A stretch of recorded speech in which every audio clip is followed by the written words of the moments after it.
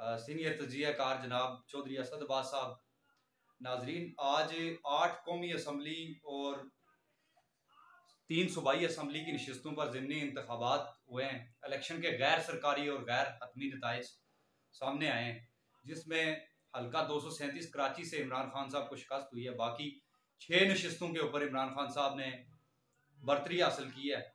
और असद साहब, बहुत शुक्रिया सर, आपने हमें टाइम दिया। तो हमारे नाजरीन को आप ज़रा आगाह कर दें कि क्या पीटीआई इसके बाद आप क्या देख रहे हैं? क्या पीटीआई कौमी असम्बली में वापस आएगी? सभी चौहान साहब देखें पहले तो ये देखना है कि ये जो आठ कौमी असम्बली की नशस्तें थी, इनमें इमरान खान साहब ने एक नहीं, दो नशस्तें लूज़ की है। दूसरी नशस्त है मुल्तान से जो कि शाह महमूद कुरैशी की ज़िद की वजह से लूज़ हुई जब ये तय पाया था पीटीआई के अंदर कि तमाम सीटों पर इमरान खान ही उम्मीदवार होंगे तो शाह महमूद कुरैशी ने अपनी बेटी के लिए वो सीट मांग ली और उसके लिए उन्होंने कंपेन भी चलाई। बहरहाल जिस तरीके से वो चलाते रहे और उनका एक स्टाइल है। लेकिन सबसे ज़्यादा नुकसान पीटीआई को मुल्तान में शाह महमूद कुरैशी के रवैये की वजह से पहुँचा। इसलिए कि जब देखें, आपकी पूरी पार्टी ही कौमी असम्बली से मुस्ताफ़ी हो चुकी है। और दोबारा आप सिर्फ़ एक पावर के लिए और एक सियासत के लिए बावर कराना चाहते हैं मुखालफी को कि पब्लिक हमारे साथ है। ठीक है, पब्लिक इमरान खान के साथ है, लेकिन इमरान खान के हर कैंडिडेट के साथ तो नहीं है। और कैंडिडेट टू कैंडिडेट जो है वो मैटर करता है। लिहाजा वहाँ पर सबक वज़ी अजम यूसुफ रज़ा गिलानी ने बड़े अच्छे तरीके से पत्ते खेले और बहुत सारे उनके जो जलसे और मीटिंग्स थी वो मैंने ऑब्ज़र्व भी की। उसमें उन्होंने यही दलील पेश की कि देखें एक कैंडिडेट है जिसको हलफ ही नहीं लेना कौमी असम्बली का और ना कौमी असम्बली में जाके अवाम के मसाइल के ऊपर बात करनी है और ना मसाइल को हल कराना है। तो ऐसे में आप क्यों वोट ज़ाय करते हैं? ये सारी कंपेन यूसुफ रज़ा गिलानी की बड़ी कामयाबी से चली और ये जो कहते हैं कि जी सोलह जमात बड़ी कामयाबी से चली और ये जो कहते हैं कि जी सोलह जमातें सोलह जमातें सोलह जमातें ठीक है खाना पूरी है, लेकिन ये है कि वर्किंग जो है ना वो दो चार ही जमातें हैं पंजाब के अंदर जो मैटर करती हैं। पंजाब में ए एन पी भी नहीं है और जे यू आई भी नहीं है। टोटल तीन जमातें हैं पीपल्स पार्टी नॉन लीग और किसी हद तक कोई इलाकाई जमात जो इनकी के अंदर बाकी तो मौलाना की पार्टी पंजाब में तो है ही नहीं। तो ऐसे में छः नशस्तें जीत कर अब इमरान खान ने तो एक नशस्त का भी हलफ नहीं उठाना और पाँच नशस्तें तो फिर खाली की खाली रह जाएँगी। क्यों? कि वो तो है कि ना खेलूँगा ना खेलने दूँगा। वो उस पॉलिसी पर गमजन है इस्टेब्लिशमेंट के साथ भी उनकी जंग है और सियासी जमातों के साथ भी जंग है। और आवाम जो है आवाम को उन्होंने दीवाना किया है। लेकिन आवाम को वन पॉइंट एजेंडे पे सोचना होगा कि एक शख्स जिसको वो चाहते हैं और उसको वोट करते हैं तो क्या उनके वोट का इस्तेमाल भी वो कहीं करेगा? कब करेगा? महँगाई का तूफ़ान है, बेरोज़गारी है, बेशुमार मसले मसाइल कौम के बहुत ज़्यादा हो गए हैं।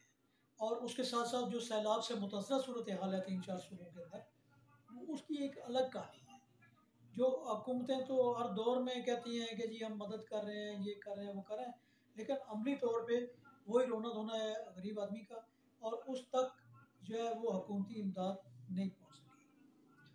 अच्छा सर आप क्या देख रहे हैं? ये तो सबको मिल के सोचना होगा कौम के लिए मुल्क के लिए कि मुल्क किन हालात में है। अभी हमें क्या करना चाहिए? ये नून लीग भी सोचे पीटीआई भी सोचे पीपल्स पार्टी को भी सोचना चाहिए। अगर ये लोग मुहिबे वतन है सबको सोचना चाहिए ना इस पे। क्या कहते हैं आप? देखिए बात यह ना कि मसला यह ना कि अब हम दो लोग बैठे हैं ना तो हमने भी अपने मुहब वतन के कार्ड जेब में डाले हैं। बिल्कुल ऐसा हम कहते हैं कि जी हमारे से ज़्यादा कोई मुहब वतन नहीं है। जी बिल्कुल। मैंने कल के तजिए में भी यही कहा था और अक्सर बेशतर मैं ये बात करता रहा कि सहाफ़ी जो है वो कोई पार्टी नहीं होता। बिल्कुल ऐसा ही है। वो पार्टी नहीं है कि जी हम इमरान खान की मुखालफत बराए मुखालफत करें और पीटीएम को खाम खाई सपोर्ट करते जाएँ। नहीं हर किस नहीं। आज जो सूरत हाल मुस्लिम लीग नवाज़ को दरपेश है। वो सिर्फ़ और सिर्फ़ जैसे जिद ना शाह महमूद कुरैशी की सीट लेने की। इसी तरह शहबाज शरीफ की वज़ीर अजम बनने की जिद ने मुस्लिम लीग नून को डबोया है। डबोया बिल्कुल मैं और वेरी फ़र्स्ट डे से मेरी ये राय है कि शहबाज शरीफ अपनी वजारत उज़मा तो कर गए। बिल्कुल ऐसा ही है। वजारत उज़मा में नाम लिखवा गए तारीख में उनका नाम आ गया। बिल्कुल लेकिन वो आवाम के लिए पार्टी के लिए पाकिस्तानियों के लिए कुछ नहीं कर पाए। कुछ भी नहीं कर पाए और महँगाई का तूफ़ान है। लोग बेरोजगार हैं। बहुत सारे मसले मसाइल हैं। सर पच्चीस तीस हज़ार तनख्वाह लेने वाला बंदा आपका क्या ख्याल है? इस दौर में अपना जाती जो जेब खर्च है ना वो भी पूरा नहीं कर सकता तो बाकी वो बाकी मसाइल से कैसे वो जेब खर्च क्या लड़ेगा। मतलब वो अपना बजट ही नहीं बना नहीं बजट ही नहीं ना बिल्कुल आउट ऑफ़ बजट हो गई हैं चीज़ें। अच्छा दूसरी बात सर मैं इसमें ये ऐड करना चाहूँगा क्या लॉन्ग मार्च होगा? क्योंकि आज खान साहब ने कहा है कि जी ये मेरा एक सीक्रेट है।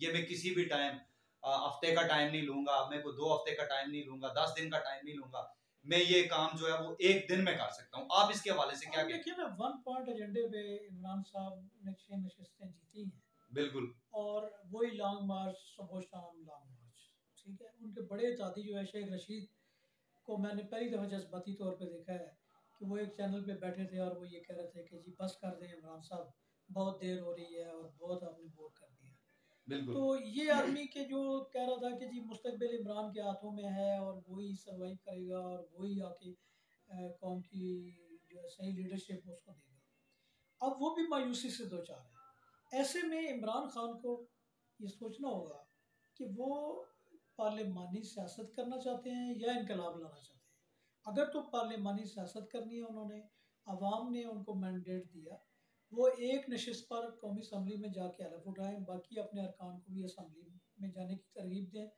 और बाकी छः नशस्तों पर फिर ज़मनी इलेक्शन होता है। और उसके अंदर भी अगर ये मेहनत करेंगे तो पी टी आई को ये नशस्तें मिल जाएँगी ये इशू नहीं है। लेकिन अगर उनको इनकलाब की राह पे जाना है तो ये एक डिफरेंट सवाल है जिसका हम्म। जवाब शायद अभी तक उनके पास भी नहीं है कि अगला अमल क्या है। बहरहाल ये है कि ये फॉर्मेलिटी पूरी करेंगे। हुकूमत ने अपनी तौर पे तैयारी की भी है। अब देखते हैं कि क्या होता है। अच्छा सर एक चीज़ और हुई है कि आबद शेर। ये होता है कि जैसे दिल से होता है ना कि कोई कंपेन चलाए और डोर टू डोर जाए। ऐसा नहीं किया राणा सनाउल्ला ने जिसका नतीजा आबद शेर अली को भुगतना पड़ा।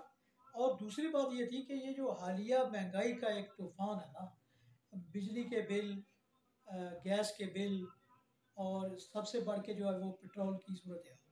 ये सारे का रद्द अमल अवाम ने दिया है। अवाम ज़ाहिर है कि किसी के जर खरीद गुलाम नहीं है और ना ही किसी का किसी पार्टी के साथ निकाह हुआ है। सर बुरी वो ये देखते हैं कि हमें कौन फैसिलिटेट कर रहा है हमारे लिए कौन स्ट्रगल कर रहा है कौन रिलीफ का एक कदम आगे बढ़ा रहा है। बिल्कुल तो। चूँकि नून लीग कुछ नहीं कर रही थी और कुछ नहीं कर रही तो उसका उसको नतीजा मिल गया।